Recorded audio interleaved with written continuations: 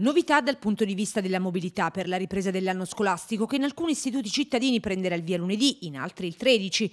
Dall'11 l'AMA, l'azienda del trasporto pubblico locale, riprende con il servizio scuola. Per rispondere alle esigenze dei cittadini sono state ottimizzate alcune linee specifiche anche dal punto di vista degli orari.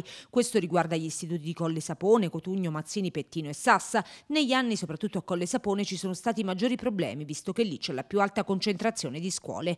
L'azienda ha pure implementato il sito per cercare le linee e percorsi alternativi, inserendo i punti di partenza e arrivo e tramite due app si possono comprare i titoli di viaggio. La novità è l'app Malaquila che permetterà di acquistare tutte le tipologie di abbonamento in formato digitale. Per quanto riguarda la viabilità nella frazione di Monticchio ci sarà un percorso alternativo che potrebbe comportare più tempo, ma se ci saranno problemi, l'AMA valuterà il raddoppio della corsa sulla linea Fossa L'Aquila e Monticchio L'Aquila.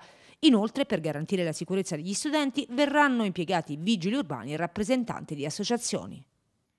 Anche quest'anno, come ogni anno, alla ripresa delle lezioni, eh, ci saranno gli agenti della Polizia Municipale a garantire l'ingresso e l'uscita in sicurezza dei nostri alunni dai plessi scolastici.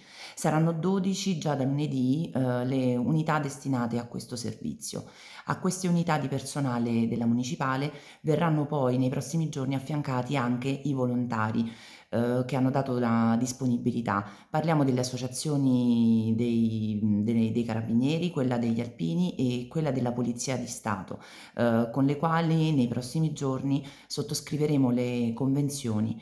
Ad essi va già da subito un enorme ringraziamento da parte mia e di tutta quanta l'amministrazione comunale, infatti grazie a loro riusciremo ad aumentare il numero di plessi scolastici che godranno eh, di questo servizio di sorveglianza.